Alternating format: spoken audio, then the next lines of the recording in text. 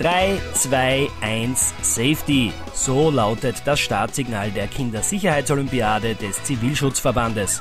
Bei diesem Teambewerb für Volksschüler der dritten und vierten Klassen stehen Spiele auf dem Programm, in deren Rahmen die Kinder nicht nur ihr vorhandenes Sicherheitswissen testen, sondern auch ihre Geschicklichkeit unter Beweis stellen können. Der Zivilschutzverband Steiermark richtet die Kinderolympiade deswegen aus, damit die Kinder geschult werden, spielerisch geschult werden auf das Thema Sicherheit. Und das jetzt aber nicht nur heute beim Tag der Veranstaltung, sondern das ganze zweite Semester. Schauplatz dieses vom Zivilschutzverband Steiermark und Regionsleiter Günter Macher ausgetragenen Bezirksbewerbs war das Com-Zentrum in Leitersdorf. Ja, man ist sichtlich sehr stolz. Und es war ein beeindruckendes Erlebnis, äh, wie die zwei Geburtstagskinder heute die äh, olympische Flamme hier in der Halle im Com-Zentrum äh, entfacht haben. Die Spiele starteten mit einer tollen Eröffnungszeremonie. Nach dem feierlichen Einzug der teilnehmenden Klassen wurde das olympische Feuer entzündet und natürlich auch der olympische Eid gesprochen. Im Anschluss eröffnete Bezirkshauptmann Alexander Meizan offiziell die Sicherheitsolympiade. Ja, es ist einfach ganz wichtig, dass Kinder auch schon lernen, spielerisch mit der Sicherheit umzugehen. Und äh, sie werden es auch in Zukunft brauchen. Und es gibt ja dieses alte Sprichwort, was Hänse nicht lernt, lernt Hans nimmer mehr.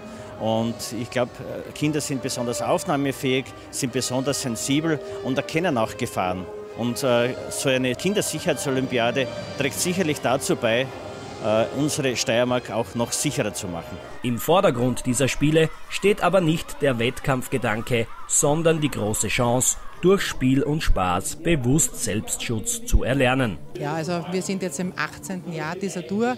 Wir sind auch das 18. Jahr Partner dieser Tour und wir haben in den letzten Jahren und Jahrzehnten immer mehr investiert in die Kinder, damit Kinder von vornherein wissen, was ist Sicherheit und was ist Gesundheit, das den Eltern weitergeben können, weil gerade für im Berufsleben dann der fertige Erwachsene ein Sicherheitsdenken oder ein Nicht-Sicherheitsdenken hat.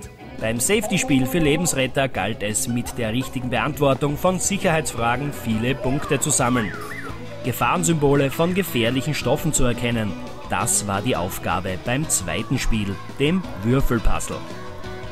Beim Radfahrbewerb ging es nicht nur um Geschicklichkeit, sondern auch um die Kenntnis der wichtigsten Notrufnummern.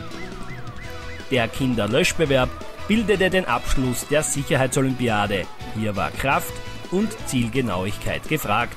Im Jahreskreis des Zivilschutzverbandes ist die Safety Kindersicherheitsolympiade das Aushängeschild und man kann gar nicht früh genug beginnen, dieses wichtige Thema den Burschen und den Mädchen heranzuführen. Die Sieger der Bezirksbewerbe dürfen beim Landesfinale in Kapfenberg antreten.